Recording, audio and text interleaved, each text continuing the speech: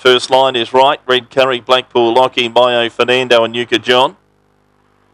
Fairy Tale Youth, Maximum Jenna, Era Lethargy and Call Me Mia move in and they're set to go. Ready for the first. Green light is on. Drizzly conditions. Set and away.